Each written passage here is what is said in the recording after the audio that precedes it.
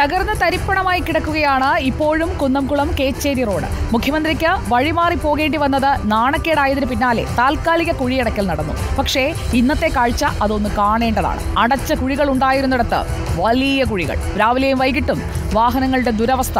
അതെങ്ങനെയാണ് എന്നുള്ളത് തൃശ്ശൂരിൽ നിന്ന് ജെയ്സൺ തന്നെ വിവരിക്കട്ടെ. നമുക്ക് ജെയ്സണിലേക്ക് പോകാം. Good evening Jason.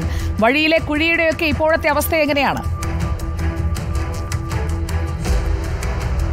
Sujaya good evening കഴിഞ്ഞ കുറേ ദിവസങ്ങളായി നാം ഈ വഴിയുടെ പ്രശ്നങ്ങളെക്കുറിച്ച് പറഞ്ഞുകൊണ്ടിരിക്കുകയാണ്. പറഞ്ഞ് പറഞ്ഞ് അവർ കുറേശ്ശെയൊക്കെ കുഴി അടയ്ക്കാൻ ശ്രമിച്ചുകൊണ്ടിരിക്കുന്നു. ആ കുഴി അടയ്ക്കാൻ ശ്രമിച്ചു കൊണ്ടിരിക്കുമ്പോഴും വാഹന ഗതാഗതം സുഗമമായി പോകുന്നില്ല എന്നതാണ് പ്രധാനപ്പെട്ട പ്രശ്നം. ഓരോ കുഴികളിൽ കുറച്ച് മണ്ണും അതുപോലെ തന്നെ മെറ്റലും ഒക്കെ ഇട്ട് നമുക്ക് ദൃശ്യങ്ങളിൽ നിന്ന് കാണാം. മെറ്റലൊക്കെ ഇട്ട് വെച്ചിരിക്കുകയാണ്. അത് പല ഷേപ്പിലാണ് ഇപ്പോൾ റോഡ് കിടക്കുന്നതാണ് എന്നതാണ് ഏറ്റവും പ്രധാനപ്പെട്ട പ്രശ്നം. അതുകൊണ്ട് തന്നെ വാഹന ഗതാഗതക്കുരുക്ക് ഒരു സ്ഥിരം കാഴ്ച തന്നെയാണ്.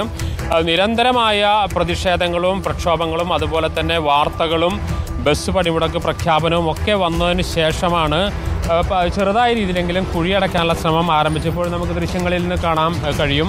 വാഹനം വളരെ സാവധാനത്തിലാണ് പോകുന്നത്. കുഴികളൊക്കെ വലിയ കുഴികളൊക്കെയും ചെറിയ തോതിൽ അടയ്ക്കാൻ ശ്രമിച്ചിട്ടുണ്ട്. പക്ഷേ ആ അടയ്ക്കാൻ ശ്രമിച്ചിട്ടുണ്ടെങ്കിൽ പോലും കാറുകളൊക്കെ കടന്നു പോകുന്നത് നമുക്ക് ദൃശ്യങ്ങളിൽ നിന്ന് കാണാം. വളരെ സാവധാനത്തിലാണ് കടന്നു പോകാൻ കഴിയുന്നത്. ഒരു ശാശ്വതമായ ഒരു പരിഹാരം എന്നത് ഇനിയും ഏറെ അകലെ തന്നെ എന്നാണ് ഇപ്പോഴും പറയാൻ കഴിയുക. പക്ഷേ ബസ് സമരം പരമാവധി ഒഴിവാക്കാൻ വേണ്ടി സർക്കാർ ശ്രമിച്ചു എന്നതാണ് ഇതിൽ വലിയ അവരുടെ മുൻഗണനാ ക്രമത്തിലുണ്ടായിരുന്നെന്ന് നമുക്ക് മനസ്സിലാക്കാൻ കഴിയും. ഇപ്പോൾ നമുക്ക് ഈ ബോർഡുകളിലേക്ക് പോയാൽ കഴിഞ്ഞ കുറേ ദിവസങ്ങളായി ഇവിടെ എല്ലാം ഇത്തരത്തിലുള്ള പ്രതിഷേധ ബോർഡുകളാണ്. ഇത് എസ് ഡി പി ഐയുടെ ബോർഡാണ്. അതുപോലെ തന്നെ ഇത് കോൺഗ്രസിന്റെ ബോർഡാണ്. അങ്ങനെ വിവിധ രാഷ്ട്രീയ കക്ഷികളുടെ ബാനറുകളും കാര്യങ്ങളൊക്കെ ഇവിടെ നിറയുണ്ടായിരുന്നു അതിനുശേഷമാണ് പതുക്കെ പതുക്കെ അനങ്ങാൻ തുടങ്ങിയത്. ഗതാഗത കുരുക്കിന് ഒരു ചെറിയ ശമനമുണ്ട് എന്ന് നമുക്ക് പറയാൻ കഴിയും. പക്ഷേ നമുക്ക് ഈ കുഴി അടച്ചത് ഒരു മഴ കനത്തു വന്നാൽ വീണ്ടും ഇപ്പോൾ കഴിഞ്ഞ ഏതാനും ദിവസങ്ങളായി തൃശ്ശൂരിൽ മഴയില്ല ഒടും വെയിലാണ്. അതുകൊണ്ടാണ് ഈ കുഴികൾ താൽക്കാലികമായിട്ടെങ്കിലും ആ അതിൽ കല്ലും അതുപോലെ തന്നെ അവരുടെ മണ്ണൊക്കെ കിടക്കുന്നത്.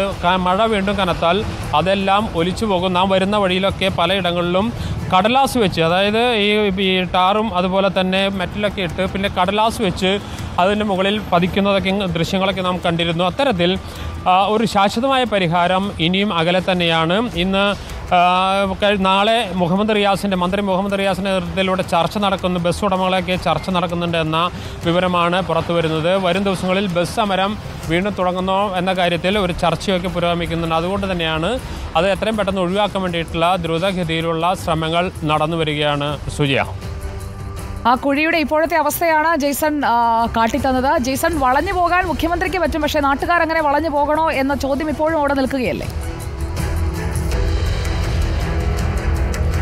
തീർച്ചയായും വാഹന ഗതാഗതം ഞാൻ നേരത്തെ പറഞ്ഞതുപോലെ തന്നെ ഇപ്പോൾ ഇവിടെ വരുമ്പോൾ വണ്ടി ചവിട്ടേണ്ടി വരുന്നതാണ് വളരെ സ്മൂത്തായി വാഹനങ്ങൾ കടന്നു പോകാൻ കഴിയാത്ത സ്ഥിതി തന്നെയാണ്.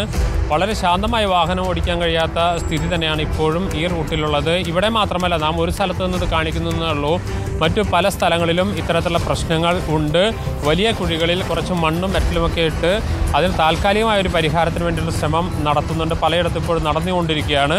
ഇപ്പോഴത് ഗുരുതരമായ സാഹചര്യം ഇല്ലാത്തതിന് കാരണം പ്രധാനമായും മഴ മാറി നിൽക്കുന്നു എന്നതാണ്. മഴ വീണ്ടും വരും ദിവസങ്ങളിൽ കനക്കാനുള്ള സാധ്യതയുണ്ട്. അത്തരം ഒരു സാഹചര്യം വന്നാൽ തീർച്ചയായും ഇവിടെ വീണ്ടും ആ മണ്ണും കല്ലുമൊക്കെ ഒലിച്ചു പോകും. അതിനുശേഷം വീണ്ടും വലിയ ഗർത്തങ്ങൾ രൂപപ്പെടും.